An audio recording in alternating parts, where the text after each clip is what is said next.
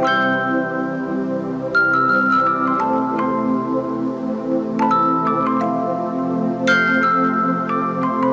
mừng quý vị và các bạn đã quay trở lại với bản tin dự báo thời tiết ngày hôm nay và ngày mai mùng 3 tháng 4 trên kênh VTV Tiên và dự báo cho 3 ngày tới. Quý vị và các bạn thân mến, trong đêm nay và ngày mai, không khí lạnh tiếp tục ảnh hưởng đến các nơi khác ở Nam Trung Bộ.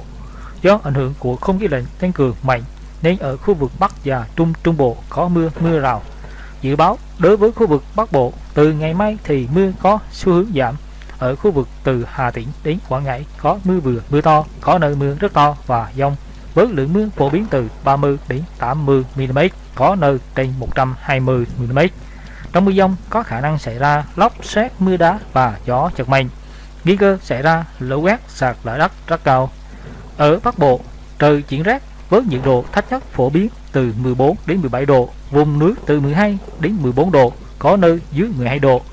Khu vực từ Thanh Hóa đến Thừa Thiên Huế trời rét với nhiệt độ thấp nhất phổ biến từ 15 đến 18 độ.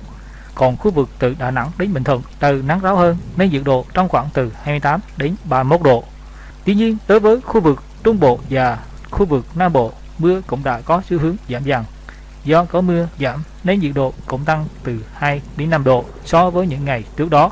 Với khu vực Tây Nguyên, nhiệt độ tăng lên từ 26 đến 29 độ. Còn ở khu vực Nam Bộ, từ ngày mai cũng có mưa rải rác vài nơi. Cục bộ có nơi có mưa vừa mưa to và gió mạnh nên nhiệt độ ngày từ 30 đến 33 độ. Chuyển sang thời tiết trên biển, dự báo trong đêm nay và ngày mai ở vịnh Bắc Bộ, khu vực Bắc Biển Đông bao gồm cả vùng biển quần đảo Hoàng Sa, vùng biển phía Tây của khu vực Bắc và giữa Biển Đông bao gồm cả quần đảo hàng Sa có mưa rào và dông. Từ đêm nay trở đi, gió giảm dần. Cảnh báo cấp độ rủi ro thiên tai do gió mạnh trên biển là cấp 2.